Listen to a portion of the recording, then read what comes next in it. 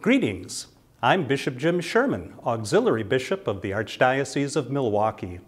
Thanks for joining us today for another Advent reflection on the sacred scriptures. Not long ago, I had a conversation with a married couple about their dream house. They actually built the house themselves according to their own specifications. They knew exactly what they wanted and what they needed to make the house beautiful, practical, and comfortable.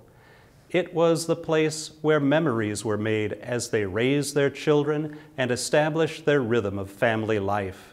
It was truly their dream house. Today's first reading on this fourth Sunday of Advent comes from the second book of Samuel. It is a story of King David. With his great battles won, his kingdom established, he was now comfortable and content in his palace. He began to muse here I am living in a house of cedar, while the ark of God dwells in a tent. He was referring to the Ark of the Covenant, which contained the stone tablets of the Ten Commandments. It was kept in a tent. There was, as of yet, no temple. So David had an idea that he shared with Nathan the prophet. He would build a dream house, a temple, a house for the Lord, and Nathan agreed to his plan. However, that very night the Lord spoke to Nathan. He told him, in effect, Go say to David, You'll build a house for me? Remember, I led you and your people like a shepherd. I defeated your enemies and established a kingdom for you.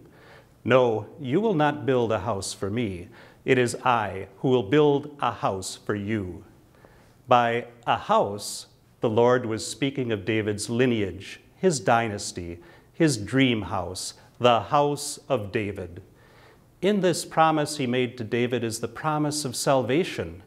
I will raise up your heir after you, sprung from your loins, and I will make your kingdom firm.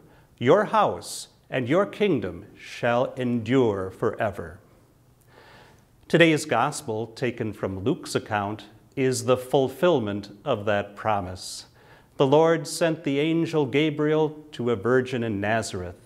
The angel invited Mary to become the mother of the promised Messiah, the Son of God, through the power of the Holy Spirit. Mary said, Behold, I am the handmaid of the Lord. May it be done to me according to your word. Because of Mary's openness to do his will, God brought his promise to fulfillment. In a few short days, we will be celebrating the solemnity of the Nativity of the Lord, Christmas.